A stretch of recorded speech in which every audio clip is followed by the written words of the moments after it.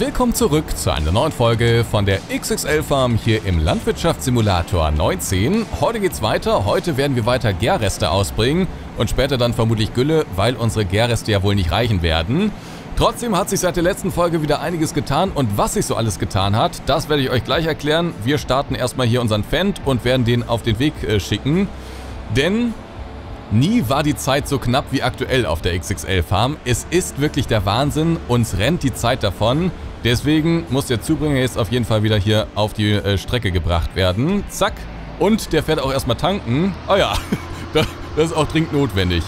Gut, dann werden wir uns mal kurz auf den Weg machen und werden einmal schnell auf Feld 9 wechseln, um einmal kurz zu gucken, wie es hier läuft. Und ihr seht, es läuft noch.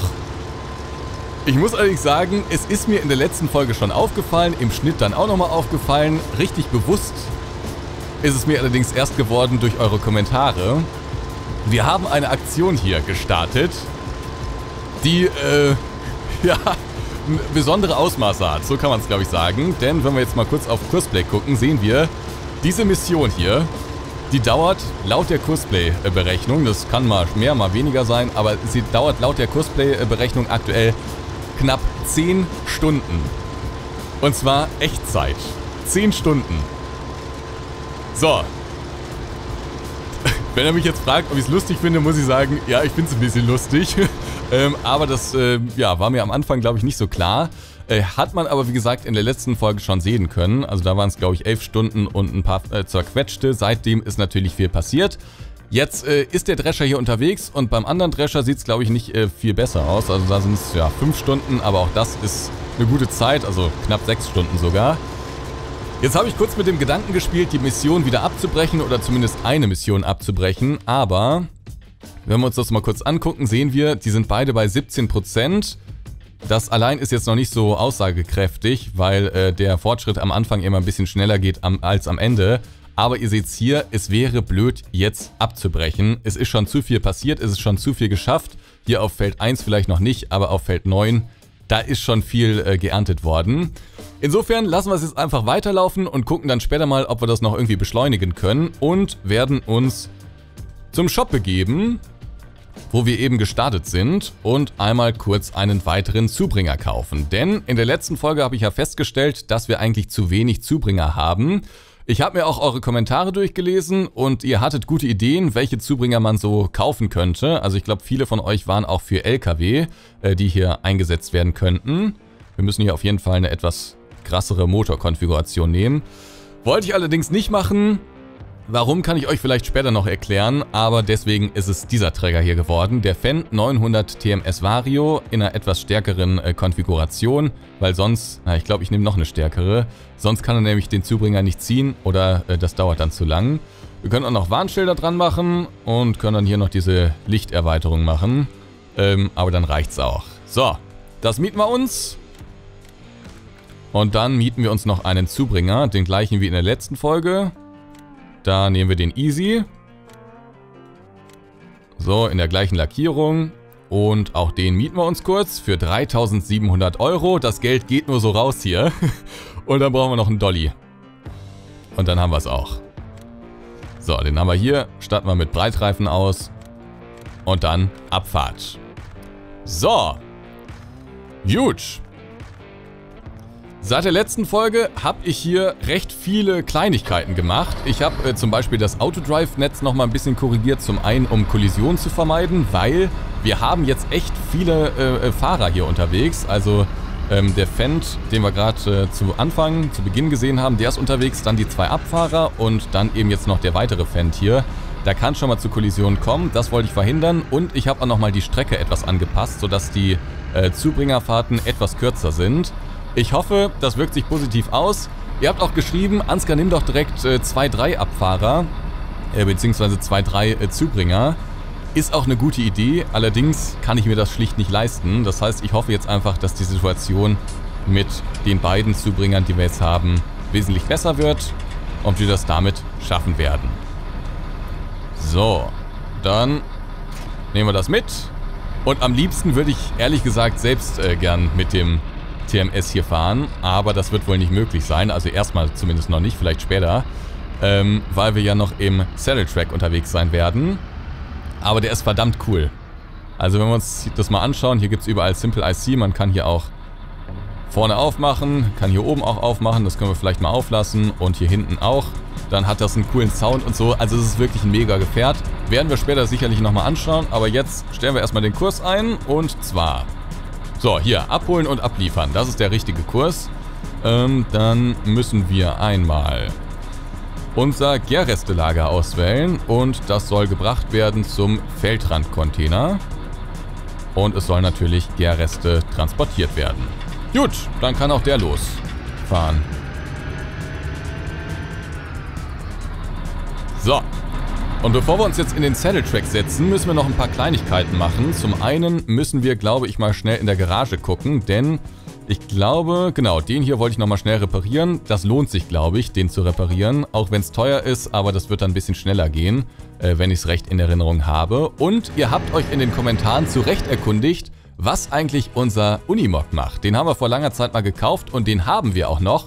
Ich hatte es selbst vergessen, also danke für die Erinnerung. Den schicken wir jetzt erstmal zum Hof und dann lasse ich den, glaube ich, noch einen grober Auftrag äh, erledigen. Denn ähm, ich weiß nicht, ob der sich so als Abfahrer eignet. Das habe ich noch nicht ausprobiert. Das ist mir jetzt auch ein bisschen zu riskant, wenn der dann hier alles auffällt und ich merke es zu spät. Deswegen ähm, lassen wir den jetzt erstmal zum Hof fahren und werden den dann später mit einem grober ausstatten. So, wo haben wir den? Hier, Hofwerkstatt kann er hinfahren. So. Alright. Okay, dann schauen wir einmal schnell, wie es jetzt hier aussieht. Der Autodrive-Fahrer ist schon auf äh, dem Weg. Der Profi Plus, der scheint hier irgendwie nochmal eine kleine Ehrenrunde gedreht zu haben, ist jetzt allerdings auch auf dem Weg.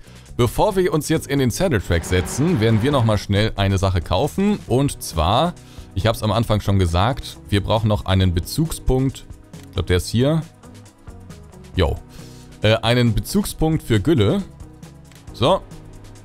Und dazu werden wir einen äh, Gülle-Importpunkt, beziehungsweise einen Gülle-Import kurz platzieren. Das ist eine Stelle, an der man dann später äh, Gülle kaufen kann. Das können die ähm, Autodrive-Fahrer dann automatisch anfahren und dann Gülle kaufen und zum Feldrandcontainer bringen. Gärreste habe ich, weiß ich nicht, ob es da auch Optionen gibt, sie irgendwie zu kaufen. Habe ich jedenfalls nicht gefunden. Gut, dann platzieren wir das mal hier irgendwo. Dann ist es relativ einfach, das ähm, anzupassen mit dem Kurs. Und dann sind jetzt sehr, sehr viele Fahrer unterwegs und es heißt warten. Und ich würde sagen, ich switch hier schon mal in den Saddle Track und dann warte ich mal kurz auf die ähm, Zubringer und dann werde ich gleich wieder starten.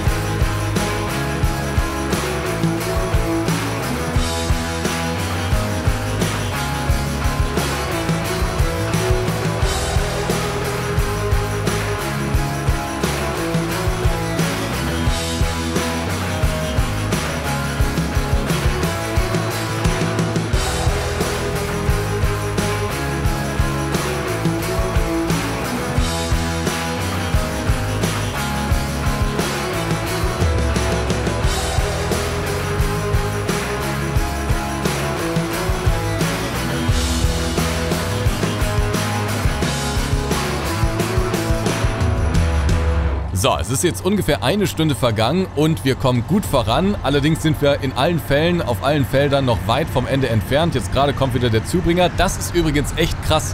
Also zwei Zubringer, das war exakt das äh, richtige Maß. Mehr braucht es nicht, weniger braucht es allerdings auch nicht. Also, und das funktioniert hervorragend. Also ich muss das ganze System natürlich von Gärresten äh, auf äh, Gülle umstellen. Das, da muss ich mal kurz eingreifen. Aber danach habe ich nichts mehr gemacht. Und ich bin echt happy. Das läuft nämlich wie am Schnürchen. Also die Gülle wird vollautomatisch hier hingebracht. Ich muss so gut wie nichts machen. Muss halt einfach nur die Gülle hier auf dem Feld ausbringen. Aber das ist echt gut und das ist echt hilfreich. Das Einzige, was ein bisschen kompliziert ist, ist hier immer den Ansatz zu finden. Das äh, wird jetzt hier auch nochmal zum Problem.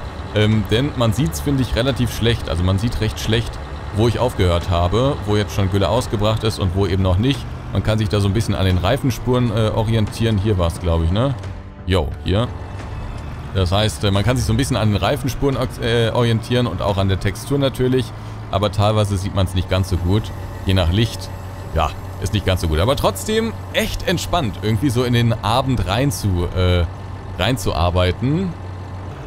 So. Und ich zeige euch, ah, ich mache es nochmal gerade aus, dann zeige ich euch nämlich mal ganz kurz, wie weit wir sind. Ihr seht hier, auf Feld 11 habe ich jetzt, ja, mehr als die Hälfte auf jeden Fall. Ich würde mal so sagen, ah, ja, es ist ein bisschen mehr als die Hälfte, also es ist noch gut was zu tun, aber das Ende ist äh, langsam in greifbarer Nähe. Dann, was ist hier? Achso, das sind noch unsere ähm, Schneidwerkswagen. Und dann gucken wir mal kurz bei den Missionen und... Hier stehen zwar jetzt 39 bzw. 28 Prozent und das sieht auch alles gut aus und man merkt, es gibt einen Fortschritt. Ich habe allerdings gerade mal kurz nachgeschaut. Und hier beim Drescher stehen immer noch 10 Stunden. Und ich kann es mir auch vorstellen. Denn wenn wir mal gucken...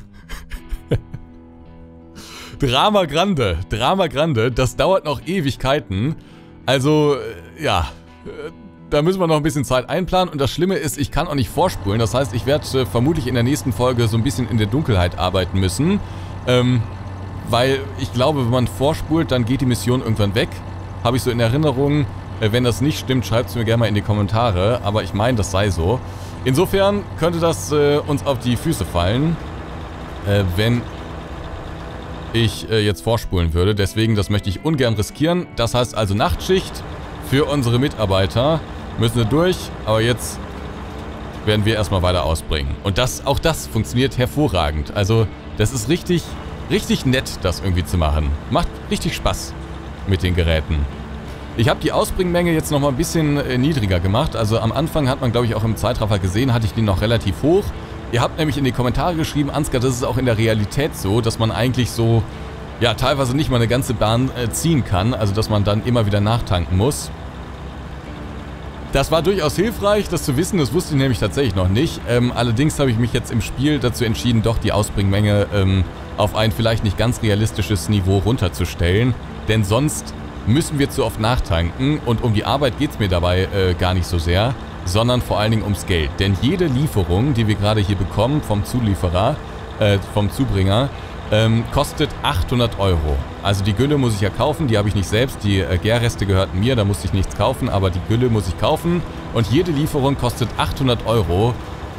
Und das ist einfach zu viel. Also wenn ich da jetzt, ihr seht ja, wie das jetzt hier gerade wieder runtertackert, wir haben Mietmaschinen, wir haben äh, Fahrerlöhne, die wir bezahlen müssen, wir haben Gülle, die wir bezahlen müssen und ich muss ja auch noch ein paar andere Sachen bezahlen. Also es ist einfach zu viel, das schaffe ich sonst nicht. Da, da kommt Peter Zwiegert dann äh, minütlich hier rein. Das wollen wir nicht, deswegen habe ich mich dazu entschieden, eben ein bisschen kürzer zu, treten und ähm, ja, die Ausbringmenge da niedriger einzustellen. Wird mir aber, denke ich, auch niemand von euch übel, zu, äh, übel nehmen. Ich wollte nur nochmal sagen, ich habe eure Kommentare durchaus gelesen und habe mich auch darüber gefreut. Ich habe allerdings das Gefühl, es werden von Folge zu Folge mehr Kommentare. Das freut mich natürlich. Allerdings fällt es mir da immer schwerer, eure Kommentare dann auch tatsächlich komplett durchzulesen. Also ich komme da kaum noch hinterher. Trotzdem, es freut mich, dass ihr alle so im, im XXL-Fieber seid.